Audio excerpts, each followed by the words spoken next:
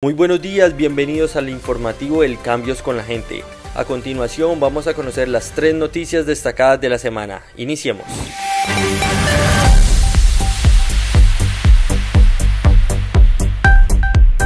A continuación vamos a ver una de las actividades, cultura y recreación al barrio en Puerto Tejada. Queremos pues informarles que hoy tuvimos una jornada muy importante en la parte artística y cultural gracias a la Alcaldía Municipal de Puerto Tejada, en cabeza del doctor Dagoberto Domínguez Caicedo, y el Instituto Municipal de Cultura y Turismo, en cabeza del licenciado Juan Grueso Briches, donde en la mañana pudimos llevarle un gran espectáculo de arte y cultura al barrio, en Carlos Alberto Guzmán, en la institución educativa eh, La Milogrosa, donde llevamos artistas, grupos de canto, de baile, donde los niños, los jóvenes y los adolescentes, y por supuesto todo el cuerpo profesorado, la pasamos muy bien, les llevamos alegría, porque el objetivo es que a través del arte y la cultura podemos llevar eh, paz, tranquilidad, hermandad y solidaridad en toda la población y motivarlos para que también se vinculen a los programas de formación artística y cultural del Instituto Municipal de Cultura y Turismo.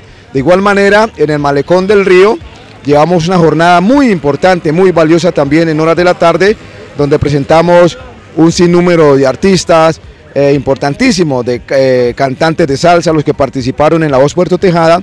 También tuvimos bailarines de danzas urbanas, eh, grupos de danzas, grupos de danzas modernas, cantantes de balada pop, donde integramos a la comunidad en general, a los niños, jóvenes, de adultos y adultos mayores, donde pasaron una tarde bastante agradable. El municipio de Puerto Tejada está lleno de talento, por eso en la sección gente tuvimos a una madre y a su hijo que hicieron historia en el Petronio Álvarez.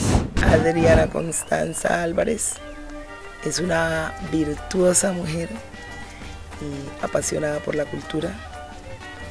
Eh, aunque nací en Timbiquí, me he apasionado por la cultura del norte del Cauca porque, pues, digamos, me crié con mis abuelos paternos y ellos han sido de acá. Yo me crié en Arauca y más o menos como a los 16 años eh, llegamos acá y y me enamoré de, estas tierras, de, este, de esta cultura. Eh, Cristian eh, es un, estudiante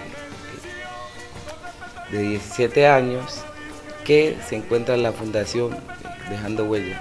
Empecé en el violín desde muy pequeño, casi siempre estuve en este ámbito de la música, eh, desde muy pequeño me llevaron al petróleo, estuve, he estado en muchos festivales pues desde antes de tocar violín y pues siempre me ha gustado esto y empecé a tocar violín más o menos en el año 2015 cuando vinieron unos españoles que un programa que se llama Vacaciones Artísticas Solidarias en la cual pues se enseñaba el violín y pues ellos estuvieron por 15 días. Hoy eh, en nombre de nuestro gobernador Elías Larraondo Carabalí le enviamos un cordial saludo a toda la población del municipio de Puerto Tejada, y a toda la población eh, nortecaucana.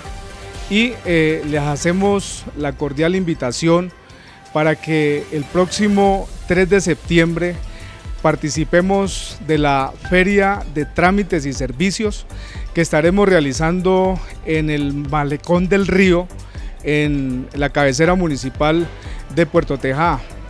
Este es un espacio que hemos eh, emprendido desde el gobierno departamental, 42 motivos para avanzar, como una manera de llegar eh, como institucionalidad hacia la ciudadanía, eh, en esta oportunidad, la ciudadanía del, norte del departamento del Cauca. ahí estaremos haciendo diferentes ofertas, eh, en materia de salud, en materia de educación, eh, en diferentes eh, sectores. Entre aspectos que sobresalen está el servicio de pasaportes, estaremos informando de, programas, de diferentes proyectos que se vienen liderando desde el gobierno departamental y desde diferentes instancias. Sigan ustedes bien informados a través de www.proclamadelcauca.com o también ingresando a la fanpage de Proclama Cauca y la Alcaldía Municipal de Puerto Tejada. Nos vemos la próxima semana con mucho más. Oh.